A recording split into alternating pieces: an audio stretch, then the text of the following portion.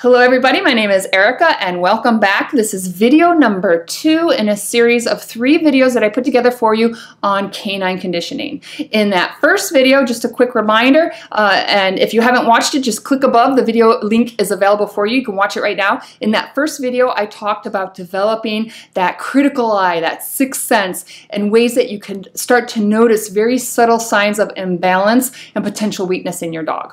In the second video, I'm talking about strength training, and more specifically, developing core strength in your dog, which is so important for preventing injuries down the road. And in the third video, I'm talking about the components of a balanced conditioning program. What are they? How to get started, and more specifically, I'm going to talk about endurance training, and I'm going to give some examples of things that I do with my own dog with interval training. And I want to reiterate the importance, the significance of canine conditioning. This is something important for all dogs. All of our dogs are canine athletes. But more specifically, if we're doing strenuous activities, um, if we have a really active pet, if we're engaged in sport and competition and, and work with our dogs, uh, such as uh, doing police work, uh, search and rescue, it's so important to keep our dogs fit, to keep them healthy, and ensure that they're in top notch condition to prevent further injury down the road. So this really can apply to all dogs at all age levels. And it's also something to think about that if you can just prevent one injury, that right there, by having knowledge of things that you can do ahead of time to keep your dog healthy, to keep your dog strong, by preventing one injury, you're looking at saving thousands, potentially thousands of dollars in medical bills. You're talking about potentially saving the future working career of your dog, and you're looking at the possibility of not having to retire your dog due to an injury and having a very long and fruitful sport career. So, this is a very, very important topic that I think everybody should be thinking about, uh, regardless of what activity they do with their dogs and regardless of the age of their dog or the breed. So now let's take a look at what I did with Bachi to make him stronger, to get him healthier, and to really develop those core muscles, to develop core strength so that I can get him all the way through and have him fully recovered so that we can continue training in our sport, French ring, and return to competition.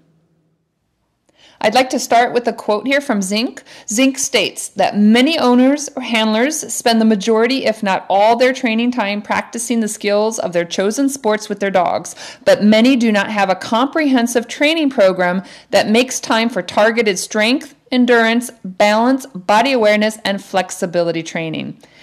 We need to have a long term plan that incorporates all of these components.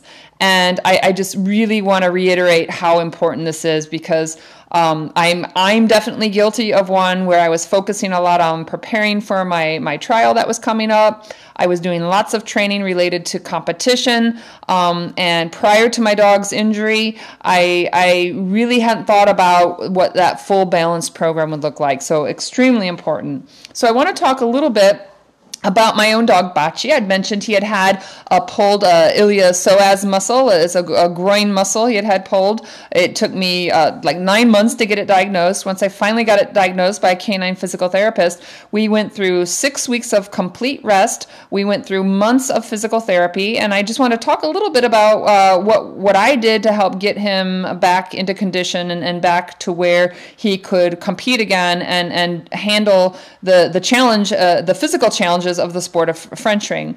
So one of the things, once he became physically able and he got stronger, and we had lots of lots of massage we did along the way, um, cold laser therapy, um, underwater treadmill, but we started to also develop this, these core muscles uh, for developing strength, so some strength training. Now, he's a very long dog, very long in the waist. Um, we think that possibly it started out with a weakness in the lower back that eventually led to the, the iliopsoas muscles, um, pulled iliopsoas muscles. So for him and his body structure, it was really important that we start to develop uh, more muscles and strength in the lower back and these core uh, abdominal muscles also. So here we see him on a exercise physio ball, a peanut.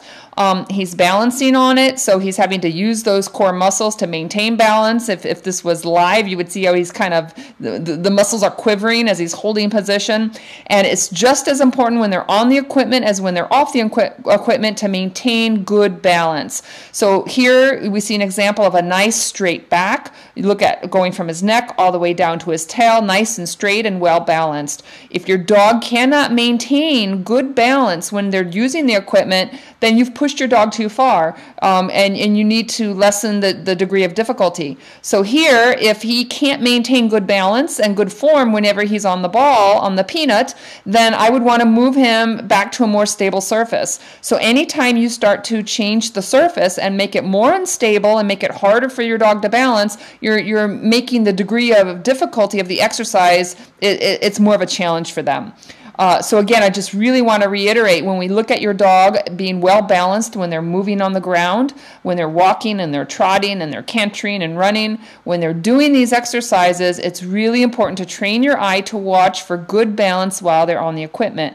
So um, the, the peanut, the physio ball, and also this blue disc that you see on the ground in the photo, these are things that I would use to help to develop core strength. Now, Strength training, the most common form of strength training, according to Zink, is resistance training, where the dog's muscular effort is performed against an opposing force. Resistance exercises are used to develop the strength and size of skeletal muscles. Now, uh, we can have resistance training where we have some kind of exterior force uh, on the dog, like I'm thinking of uh, friends of mine that are getting involved in weight pulling. Um, but you can also use your dog's own body weight and gravity to build resistance as they're doing exercises. And also, properly performed resistance training can provide significant functional benefits and improvement in overall health and well being. So, because of my dog's structure, his size, um, it was really important that we start to build strength training into his condition- conditioning program and that it extend beyond once he was recovered from his injury. It was really important that we maintain this throughout his active life while he even if he's not competing because um, because of his structure this was one of his weak points. We needed to keep that that back muscles the lower back and the abdominal area nice tight muscles. Um, so this is something that that is just one of the the various components to be considering when you're designing a balanced conditioning program for your dog so here we see I did get back to training. Uh, it took many, many, many months to get them to, to the level to where we can compete at a high level uh, of French ring training. Um, so here we did get them back into training. And then here we actually have a picture of me competing in French ring uh, level two. And we have a hurdle, a broad jump. Um, jumping actually puts extra strain on the, the psoas and iliopsoas muscles. So it was really important that we had this um, healed and recovered and that he was nice and strong in order to handle the demands of the sport. Um, we ended up competing. We in French ring level three is the highest level.